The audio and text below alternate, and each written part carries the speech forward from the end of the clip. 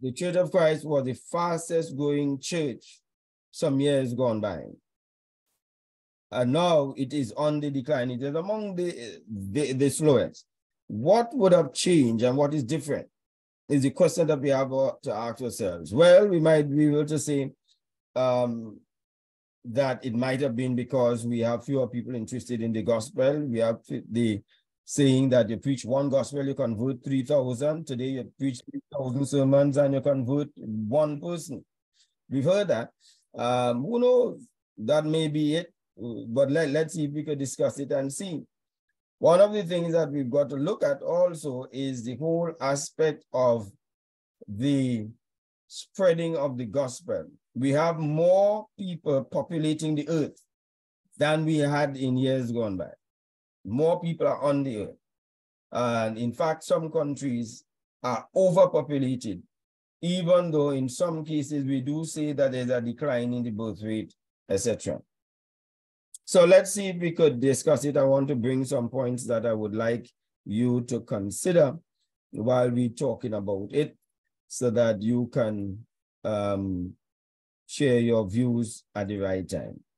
Okay, so I was looking at the Christian Chronicle. The Christian Chronicle is that newspaper or that is written by Christians of the churches of Christ and giving us an update as to Churches of Christ in Trinidad and Tobago and even farther afield, particularly the United States. So the United States is really the, the benchmark for much of the surveys and the discussions that coming out. And what they said is that 102,000 persons are fewer now in the pews of churches as of 2003. We have less now by 102,000 compared to when they did their last survey. Um, and that is the national survey by the 21st Century Christian in Nashville that, they, that was published. Now, this is their, their information that they bring in. In 2015, so that year that I just gave you, 2003, but in 2015, in that edition, we were down by not 102,000, but we were down by 165,000 fewer members of your souls in the pews in the churches. So by 2003, we're, we're down by 102. We are down by 165,000 more in 2015. And they said that the last quarter century, the total membership has fallen really by one million. So let's say over a million people we've lost between 2015. I'm assuming that some of those people would have deceased. I'm assuming that even if some people migrate and so on, I don't think that it, would just move the figures from one place to the next. Um, and most people migrate within the United States that that you have. But it is done by over a million people, according to the edition of the Churches of Christ in the United States, Nashville again, 21st century Christian. So they are also saying that in 1990, it was also down by 100,000 people or 7.8%, right? And a total membership of 1,284,000 decline in 1990 right? And that is a March front page of the National Urban Ministry Conference. That's what they um, what they said exists currently. So, meanwhile, the total number of U.S. congregations has slipped also in the United States by 12,300. So not only did they have in the United States a decline in membership, you have in the United States a decline in congregations. And whereas in the Caribbean, I'm not too sure that the decline in congregation is that stark as it is in the United States. In, in, in, the, in the Caribbean, I think that we do have some, and I don't have the survey for that, but I do think that there is an increase in some cases in congregations. Um, and we could hazard a guess as to why we have the increases. But we do have increases, albeit that some of those congregations start with about four or five people and uh, run sometimes 10, 12 people um, that makes it a congregation, but really does not necessarily carry the numbers.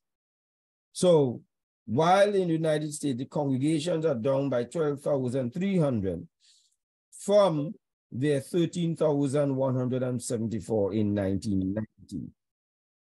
So that means that uh, there's a net loss of congregations of 874 churches in the last quarter, an average of 35 per year. Now, I know all of these figures, it's hard to assimilate all of these figures, um, but I'm, I'm hoping that you will be able to understand that the general genesis is that there is a decline. And if you go back to the Christian Chronicles, it is all written there. If you just Google Christian Chronicles and you, you Google church decline, you'll get all of these statistics. This is not something that is being made up. This is not something that is being pulled out of a hat. These are the facts that are coming that are coming forth.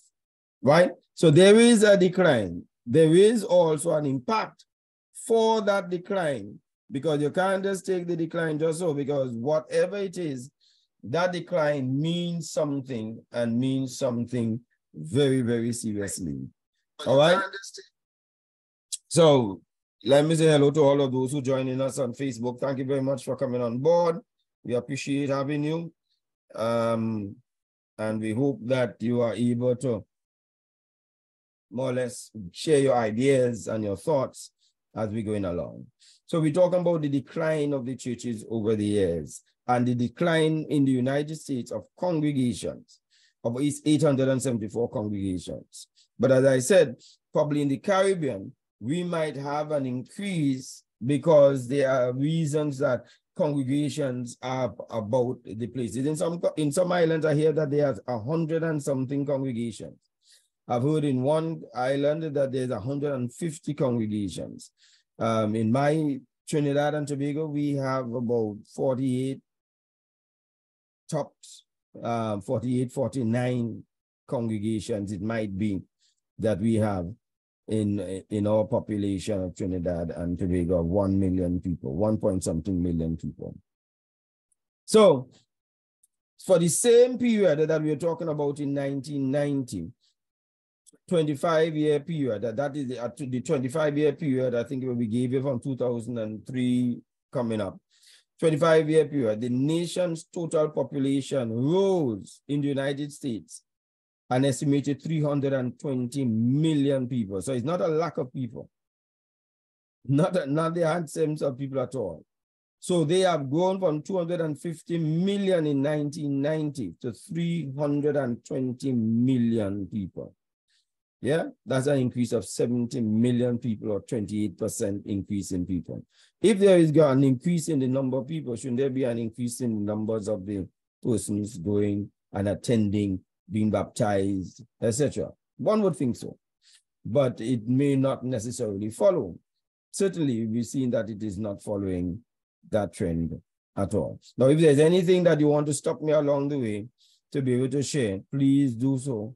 Um, you can probably raise your hand, not all the time I would see all the hands, but you can unmute your microphone and say that you want to, to share something. I want to come to a point when I'm going to also ask question to ask you to say, what might attribute to this decline that we are seeing? And this is not, um, this is not endemic, you know, this is almost pandemic that you have a global decline that's taking place. Okay? All right. And if you want those on Facebook, you just post your question or your comments on the on the Facebook. And those of you who wish uh, to do so, you could do so on the chat. All right. So, so there are many factors, I'm sure, that is causing this situation to take place with the churches of Christ However, a number of denominations are expanding exponentially. They are multiplying, they are getting large, and they are, are growing in numbers. What might cause that? Um, One particular statistics that is of interest, according to the Chronicle, is that the settling, unsettling growth in the number of religiously unaffiliated people. These are people who are religious, but not affiliated to any particular church. So now people just call themselves a Christian, but I don't go to church. So in during the 1980s, a number of studies reported the consistency of uh, between 5% to 8% of individuals claiming to have no religious affiliation. And that is really true because when you speak to a number of people, no, I don't go to any church. Do you believe in God? Yes. Which is different from an atheist. An atheist doesn't believe in God and doesn't believe in religion, don't go to church. But now we have a number of people who are stark, claim to be stark believers, but want to have nothing to do with church and religion. Hmm. Ain't that something? And then there are further study that revealed that in 2012, the number had more than doubled. So you are increasing the number of religious people globally, while at the same time reducing the number of churchgoers as in the case of the Church of Christ, actually reducing the number of members in it. But now we're talking about globally outside of the church. We're just talking about it from the standpoint. More people are religious today, but fewer people are churchgoers today. I wonder if we have discouraged people from church because of the way churches, and I'm not talking about Church of Christ here, churches have manifested themselves. So now we are at um, we are at a point that we are reaping the whirlwind of how we have operated in churches, general churches here now, not Church of Christ, churches, the imagery and the perception of church. Because even if the church is teaching the truth, teaching the doctrine, as long as those people out there point themselves and say the churches, these are these are the things that are going on in churches. Everybody gets painted with the same brush. Yes. And they said that number doubled of the people who are religious but non-churchgoers. 20% of the US population, it is now at 20%. They said 14%, or which is almost 33 million religiously unaffiliated Americans are neither agnostic nor atheist. That's what I was just telling you. The atheist says there is no God. And if I'm not mistaken, the agnostics say they're not sure if there is a God. So they are not even including the agnostics and the atheists. They are talking about people who actually believe that there is a God, who are unaffiliated religiously. Hmm. And now we, when we're talking about social media and Zoom, it gives people a platform to be religious and don't congregate as a church. And that I suspect is growing largely. In fact, now people not associating themselves with a church when it comes to social media. They just attend any church that that preaches Bible or, or claim to preach Bible. They just go to any one of them. Even members of the Church of Christ now do church hopping, virtual church hopping. And I'm not saying that is something wrong to be able to, to listen to churches and preachers, etc., from various places because they do give quite a bit of information, valuable information, and you, you, you do learn from them. But it's now where they are not even associating with it. And that is troubling. That certainly is troubling. Right? So two thirds of people believe in God. One out of every five claim to pray every day. Very religious. They consider themselves to be religious or spiritual but they rarely, if ever, attend a worship service. They have no church life, have no church family. I know that since COVID, a number of churches and congregations said that they have not seen members of their congregations ever since churches opened back to full service.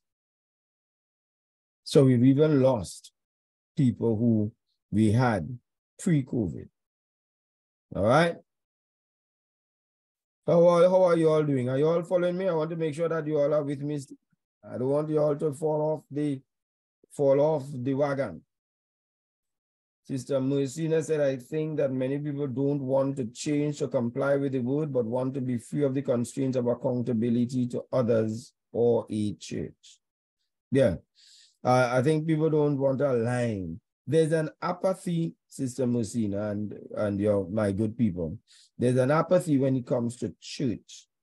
I think that religion has, um, religion has left a bad taste in the mouth of people who want God.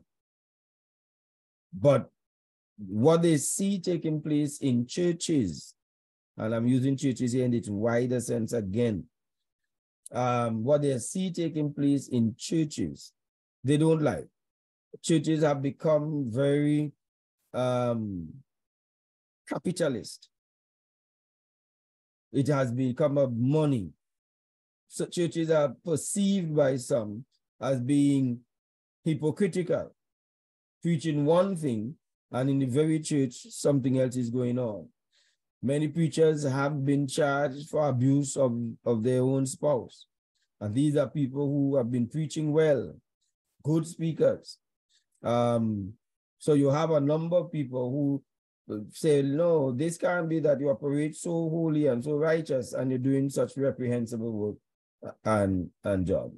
I'm going to come to you just now, Sister Musina. Sister Sandra said, um, oh yeah, she's confirming Sister Musina, they want to worship according to them and not according to God. Yeah. And that is what we end up with. You know, we have the boutique, church boutique, I call it, where you could just walk into a boutique and just choose the style you want. And if you don't like the style in that boutique, you just go into the next boutique. That's what we have come to where if you if you associate or you link on to a church, you don't like the singing, I will just go to a church that I like the singing. Um, you don't like the preaching, you, you just go to a church where you like the preaching. It has nothing to do with the soundness of doctrine, the truth of God's word, but it has to do where I feel that I fit in nicely.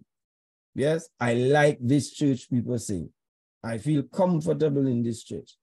But it's not about comfort and like. It is nice when you're comfortable and you are liking it, but it has got to be the purpose must be because it is sound truth. It's just like selecting a partner or spouse. You might like somebody because they look good, handsome guy, wonderful, sweet, beautiful woman.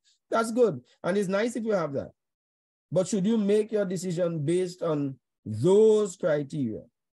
Or should you make your decision based on the fact that the person has good character? Because the character is what holds the relationship together, not the good looks. Because people get into relationship with good looks and leave because the, the person does not have good character, but the person is still looking good. So when we get into a church because we like the church and we like how it operates, um, what has to hold you is the soundness of the doctrine. All right, let me go to Sister Mercina. Um, I think too that you have to account also for the fame of the churches that, you know, the general churches um, in Christendom, as it were, because many people see those churches, the, fam- the famous churches and the famous ministers, the ones on TV, and they think that is church, they're not knowing that that is not actually church. You know, and because that's what they view church as and see it as that what's going on there is brushed over everybody. So mm. it being brushed over everybody now, and everybody has some knowledge of what the word of God is, right? They may not have the full Bible and verse, but they have knowledge of it, you know, to know that some things are not right.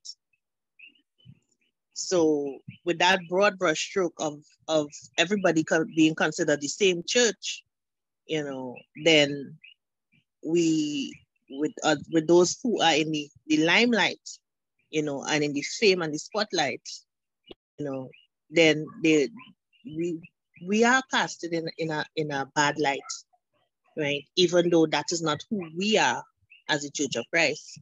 you know, but we are not in the limelight. Yeah. So there's a lot of that, and there's a lot of also religiosity, as you said. I agree with you totally. You know, to appear spiritual and to people, granted, you're not really actually following anything. You know, you're just giving a word online to appear, but you're not actually living that life. I accept that, and I see Sister Sandra is also saying something along the same line that you are saying, where she says that a lot of persons think as long as they pray to God, um, cool, that's it. They, she said she've heard of prostitutes and criminals say they pray before going out on the streets for God's protection. Yeah, somebody, an entertainer, will sing a song full of expletives, talking about violence and, and gun shooting and so on. And they may win an award or, or something for the, for the song. And they say they thank God for the talent. So mess up our children's mind because inside of the song is talking about smoking and, uh, and drugs and so on. Prostitution. And they thank God for the talent to do so well. So we really, we really, you know, because we had in days gone by some people who were dedicated, committed um, to their belief, that you saw it in the, their manifestation. And I would say this, eh, um, this morning, I, I, I got a call that there's an 80 year old woman in South Trinidad who um, is not well.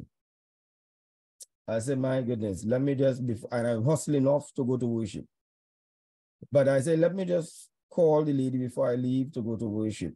And um, and express her my, my, my thoughts uh, with her, etc. for her illness, 80 years old. So I called her and I I wanted to pray with her, etc. Yeah, yeah, yeah, the lady. The lady is dressed and waiting for somebody to pick up to go to church. I called to tell her, I hope that she feels better. She's not feeling well.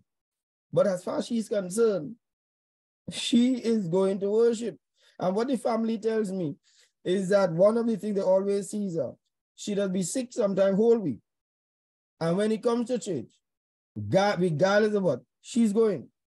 We don't have that kind of stamina, that kind of commitment again in many quarters. Not, and I'm not saying for everybody, but you just get the sniffles, you just feel tired, and bam, somebody decides to stay home.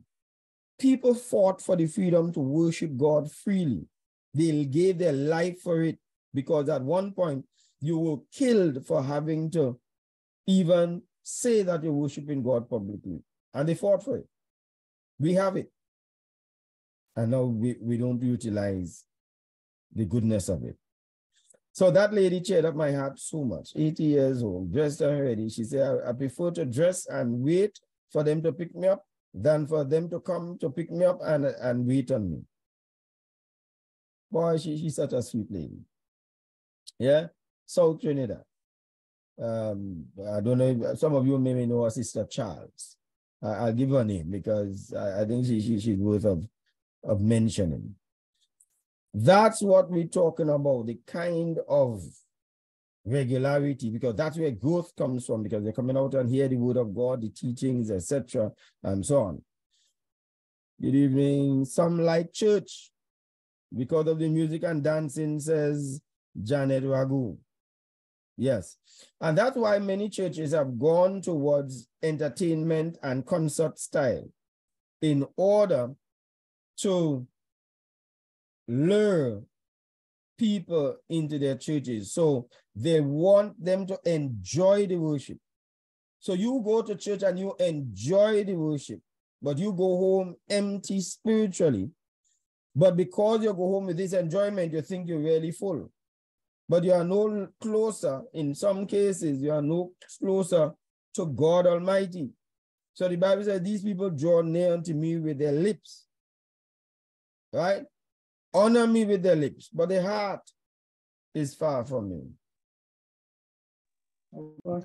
That is a wonderful commitment on the part of yes, yes, yes, yes. Well, I tell you, she she she brightened my heart. The, the family say that she always does that. Regardless how sick she is, she, they say she'll get better, go to church, and then come home and she's sick again.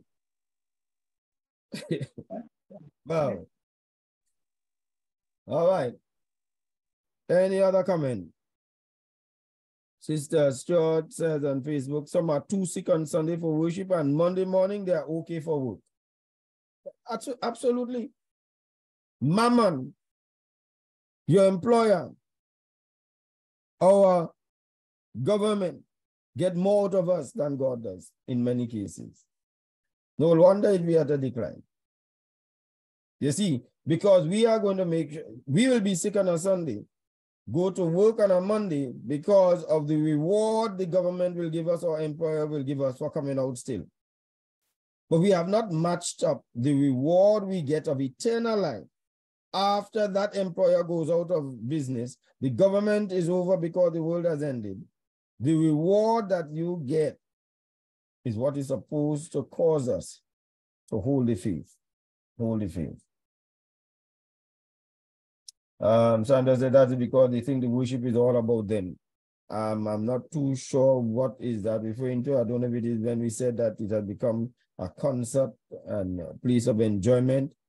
Um, probably that is my what she might be referring to. Right. So I, I hope that if you all missed it, because I shared the statistics about the decline that is taking place in the United States. And we are saying that in the United States, there's also a decline in congregations and in, in membership.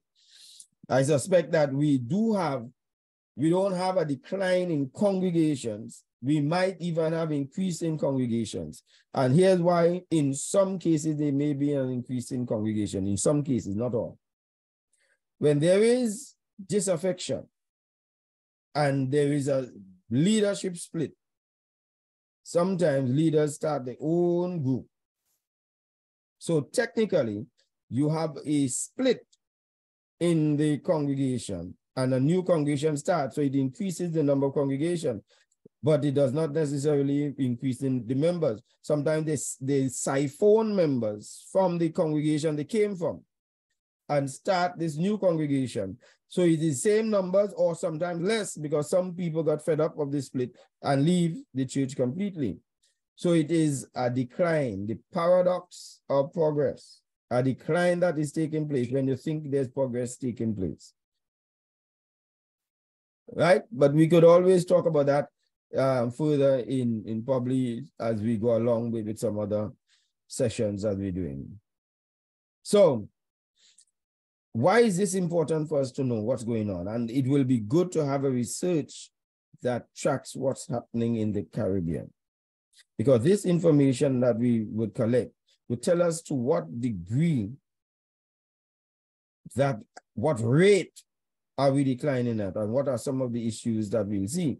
Because if we look at what's happening in the United States, congregations have declined so much that their building is much larger than necessary given their current prevailing numbers. So you are in a, a building that is so large that your voice begins to echo because the numbers in it so small. And additionally, I've known of congregations, and even the chronicles have written about the congregations that their numbers have declined so much that they can no longer continue to pay for the upkeep of the very building that they are in, lights, water, taxes, or, uh, whatever it is, statutory cost, etc. And now some have had to rent out part of their churches. One church rent out its its congregation, the, the hall, to a nearby funeral home, so that when people have funerals, they rent the place there so that they could go, go and do the church part of it and bury their dead because they cannot pay their own way. Mm-hmm. I've understood one church rented to a denomination so that the denomination will use it on some of the days because that's the only way they could keep the building. So you provide a facility for a doctrine you don't support in order to keep the doctrine being preached where you are. Hmm. That's why we need to track what is going on. We need to, to mark what is going down. This is not as simple as you think. Also, the congregations are aging, the leadership is aging, but there is little or no passing of the baton to a younger generation. So after a group of people have become aged and they've held the pulpit for quite a while, by the time you are ready now to exit the pulpit, there's nobody there to take it over. One preacher said that he has preached the gospel so long there. In fact, he's preaching while he is in a wheelchair now in the United States. And he said he has preached the gospel so long and has has buried many of its members because everybody has aged around all of them come around the same age that he said he has preached the church into the ground literally preached the church into the ground using a play of words and when you see you convert by a generation that generation all tend to die off around the same time between five ten years of each other people just start dying. And have you ever noticed that when there is there's a death of somebody in the church, their friend, their relative, the, the people, their contemporaries also die not too long after because they're around the same age. And what happens when that happens? You're going to have a decline in membership. So I hope people listening. So that is why it is important to track what's going on. If attendance therefore declines, then fewer people hear the word of God, fewer children learn about Jesus, fewer hearts are picked to go forth and teach the gospel, um, and fewer families get um, get to become as a family members of the Lord's church.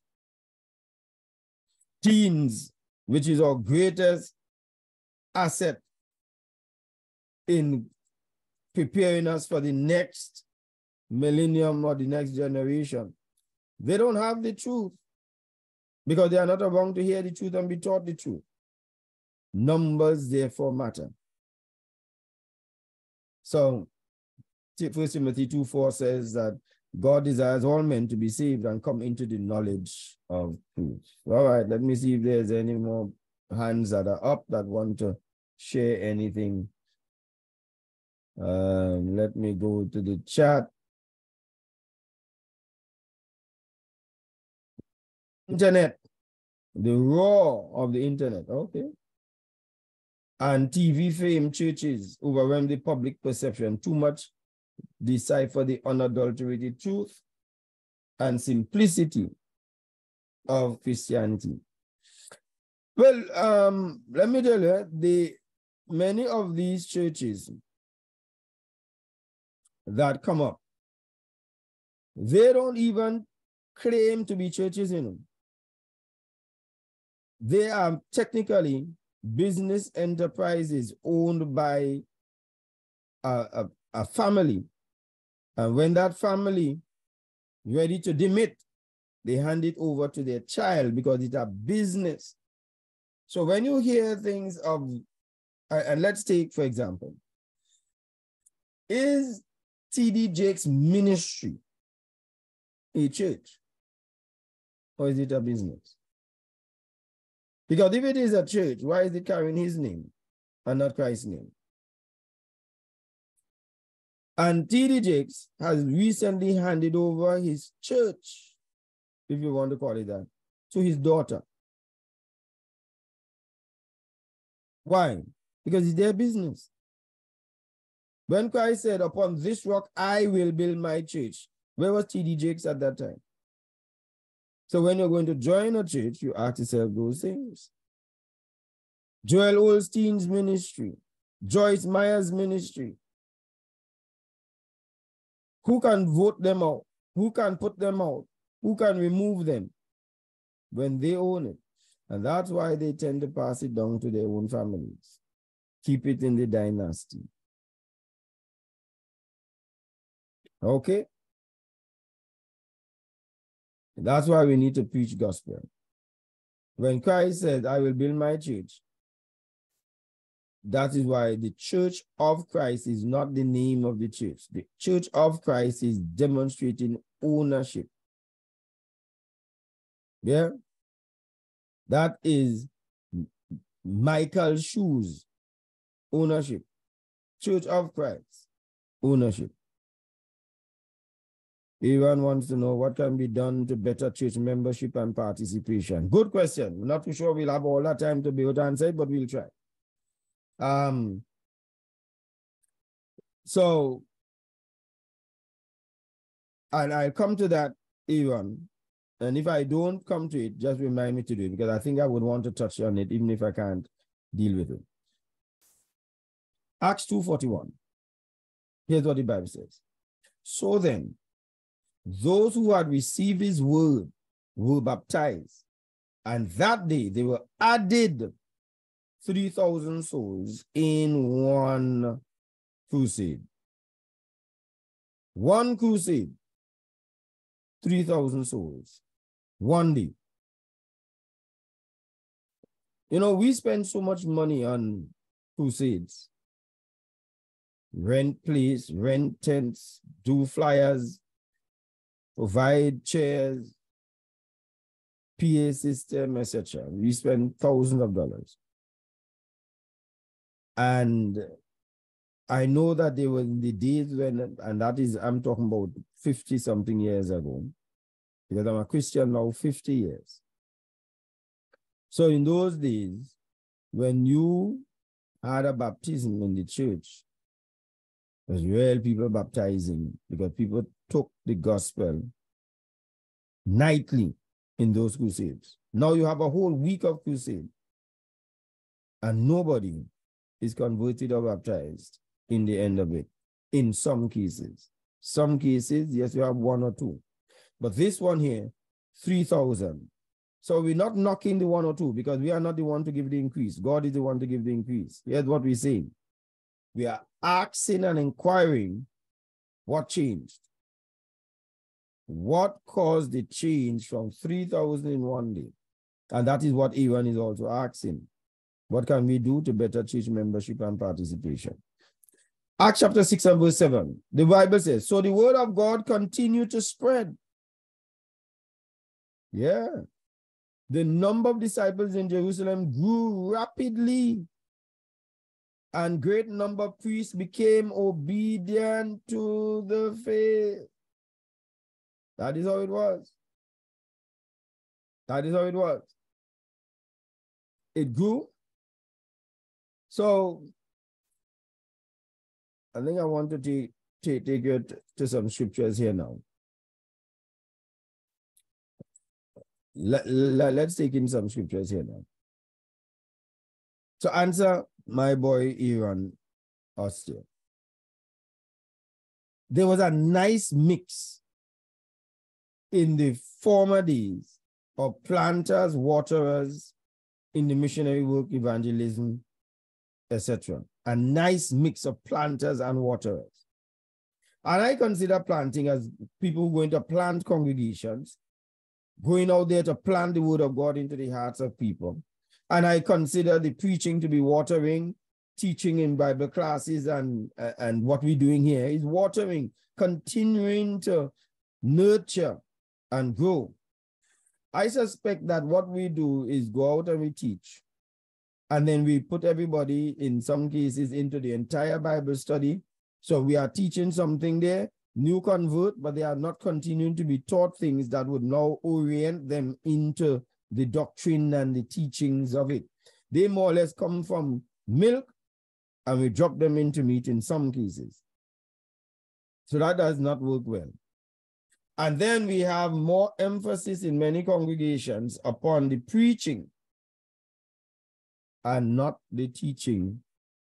In, in some cases, you don't have a chance to ask questions, you don't have a chance to interact, etc. Um, First Corinthians chapter 3, verse 4 to 6. The Bible says, And when one says, I'm of Paul, I'm of Apollos, are you not mere humans? What, after all, is Apollos? And what is Paul? Only servants through whom you came to believe. They were only servants. As the Lord has assigned to each his task. So this thing is a work. We have a task to do it. He said, I planted, Apollos watered, but God has been making it grow. And that nice mix of watering, uh, planting, and watering is what I think we miss. If you ask the any congregation how many of the members are actually going out to teach and preach the gospel to the lost, most of it is upon a preacher or one or two members in the church. Before, everybody was going out. In years gone by in the churches, a large number of the members of the church were personally teaching people in their jobs, in their families, in their neighborhood. They were actually teaching and they were competent to teach it because they knew the scriptures. Not today. Not today. So we have waterers, no planters. You know what that tells me? It reminds me of when hotel, the hoteliers here say they want to order lettuce and order pak choy and order tomatoes from local growers. But here's what happened. The growers plant and supply the hotels well on the first tranche. But many of our local farmers don't go back to plant, constantly plant. So they already gave the hotel that. By the time the hotel asks for another set, your set not ready yet because you planted late or you did not plant at all. So they stop buying from the local people. And I think that is what happens that we, we plant and we've had our foreign crusades and so on, and we planted. But I suspect that we did not continue to plant. So you don't have the continued growth in the church. And many people do not, are not competent in teaching it. Right. Yep. Oh, you went? Okay. Yes, you could see the difference. Things change. Now things will change, but they don't have to change for the worse. First Corinthians chapter 3, verse 7 to 8. The Bible says, So neither the one who plants nor the one who waters is anything. Now we think that that is something to us. I baptize this person. I baptize it. Paul said, I, I didn't even baptize all of them. Yeah? So it is who church and whose congregation doing well, so we compete sometimes with congregation. He says, neither the one who plants nor the one who waters is anything, but only God who makes things grow. The one who plants and the one who waters have one purpose. I wonder what that one purpose is. To increase the harvest. Because God is the one to give the increase. So we are increasing the availability of the harvest by teaching the word. And each man will be rewarded according to their labor. Now, ain't that something? Look at that.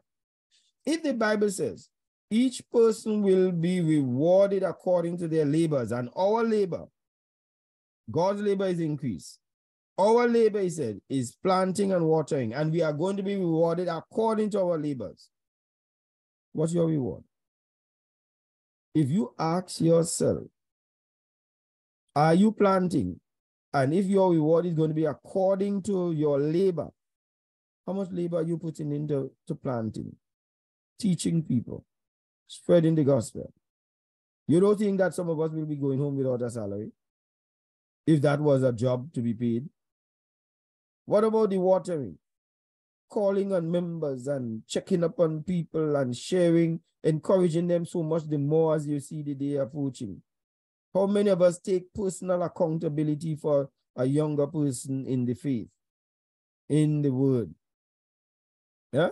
And if you are supposed to be paid, paid according to your labor, what is your reward going to look like?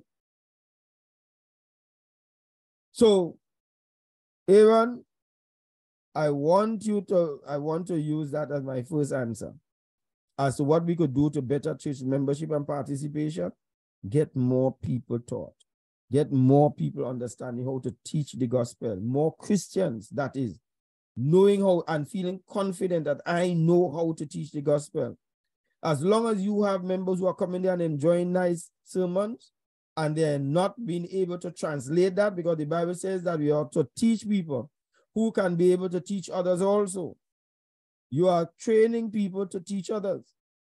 And once you do not have that, church growth is always going to be sacrificed on the altar of incompetence because we cannot teach the gospel. Yeah. So it is to now train members more. But you, they've got to come out. you can't train them if they're not coming out. They have got to come out to be exposed to the world. All right. I want to go to Acts chapter 6 now. Acts chapter 6. Acts chapter 6 says this. Now in those days, now in those days, when the number of the disciples was multiplying, if we could just get those days back. There arose a complaint. Oh, you have complaint and church multiplying? We think that whenever persecution and hard times come, that the church naturally should decline. Not so in Acts. It is when they were persecuted, the church spread.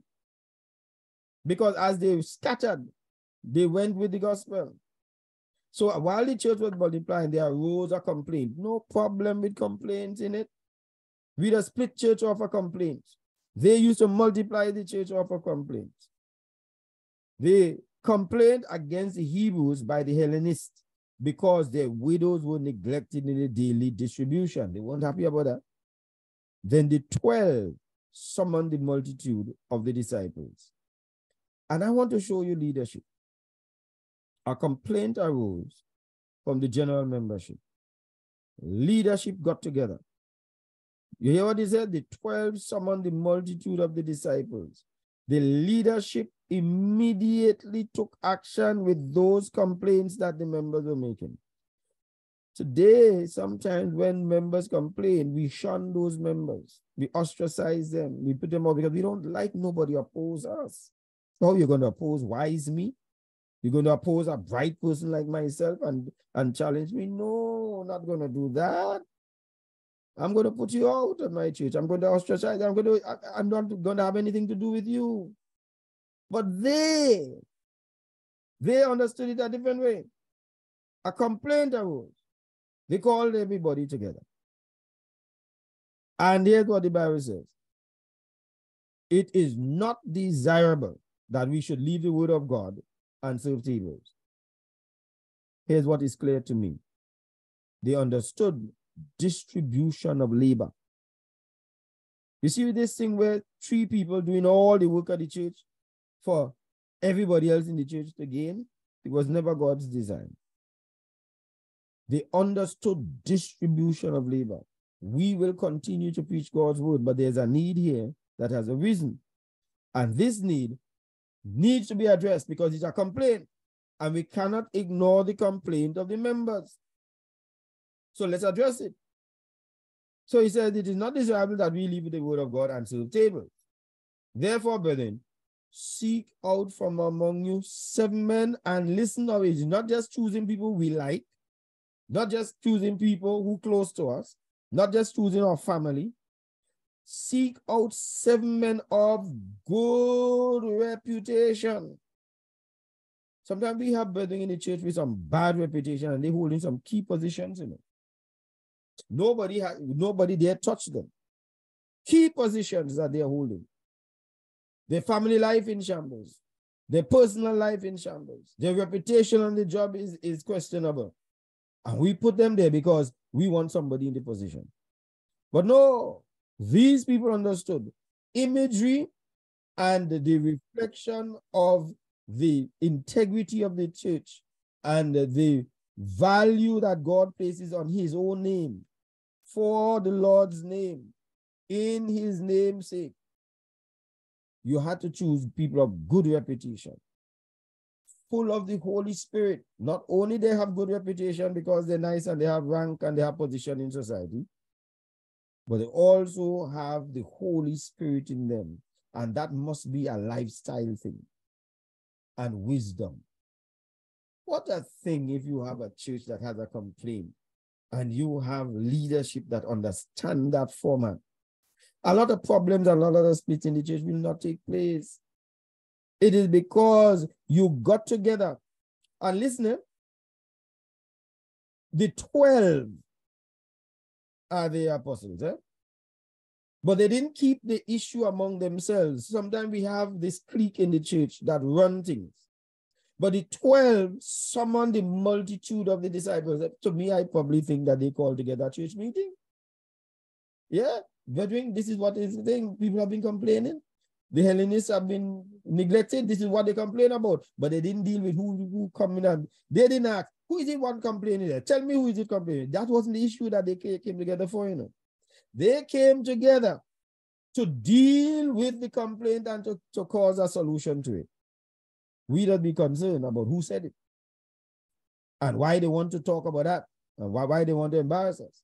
Even some people might be listening to this now and they're going to start, um, they might come and say, well, Brother Mike, you see, Brother Mike go and expose church business on, on Facebook and all of that. And, and people might very well want to, to deal with it from that standpoint because that's what we are.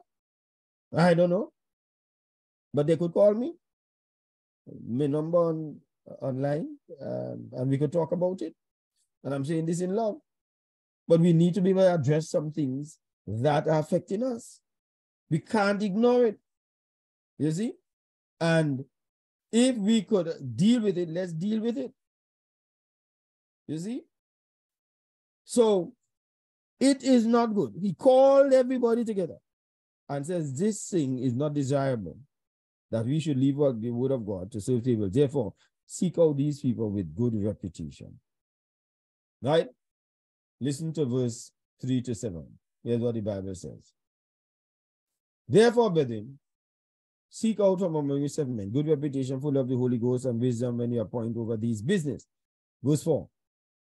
But we will give ourselves continually to prayer and to the ministry of the word, distribution of labor. You cannot give up the spreading of the gospel and the teaching of it for internal matters but you must have somebody addressing internal church matters. And verse 5 says, and the saying pleased the whole multitude. You see, and that is why you're not going to have dissension in because the complaint came, they called together everybody, so everybody's aware of it, and everybody knows the condition that you are looking for. You are looking for people that you could trust to handle this thing. So it must please the whole the whole multitude. That's leadership involvement of people. People should not be saying, I don't know what's going on with the church finance. I don't know what's going on with the church. I only hear that we're having a fellowship next week. You understand? Everybody knows what is taking place. And when they heard it, and when they heard the qualifications, good reputation, Holy Spirit, and all of that, so they now needed to look among them for a person to handle that. I hear what the Bible said. And the same people, the whole multitude, and they chose Stephen Stephen. Why? Because Stephen handsome. No, because Stephen have money. No, because Stephen popular. No, they chose Stephen, a man full of faith and the Holy Spirit. And they add on to them Philip, Prochorus, Nicanor, Timon, Parmenas, Nicholas, a proselyte from Antioch. They had from them people who were qualified. But the reason I know he have a little family thing and so on, and his wife don't talk to him, and his wife separate from him and so on. But we don't have anybody to, to give it to, so we had to end up asking him. You do you don't have to. You understand? They made a decision, and that is why the reputation of the church. Because when people see that, they are drawn into the Lord's church. What time is it? I want to make sure I ain't going over my time. Whom, when they sat before the apostles and when they had prayed, they laid hands on them. Then the word of God spread. Ah, yeah, yeah. now you see why the word of God spread. After you take a stand like that, you think the word of God, they didn't talk about um that they holding a set crusade. The word of God naturally spreads. The word of God spread, and the number of the disciples multiplied greatly in Jerusalem, and a great many of the priests were obedient to the faith.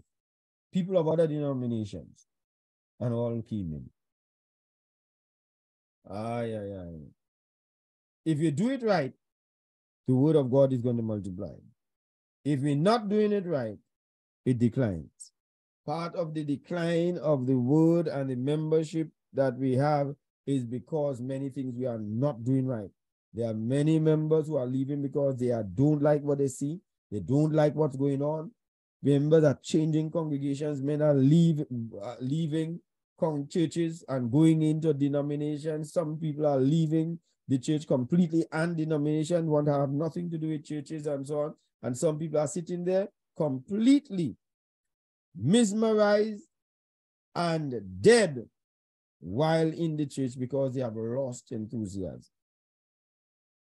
I have not said anything here tonight to try to embarrass anybody or try and give anybody a negative um, reaction but I felt it necessary to be able to speak plainly and bravely in season and out of season. That was my intention only. But if you do have an issue, feel free to call me. Let's sit down and talk. Even if you agree with it and you want to discuss further, let's sit down and talk. And we're going to um, look forward to that. Okay? So that brings us to 8 o'clock sharp, right on the dot.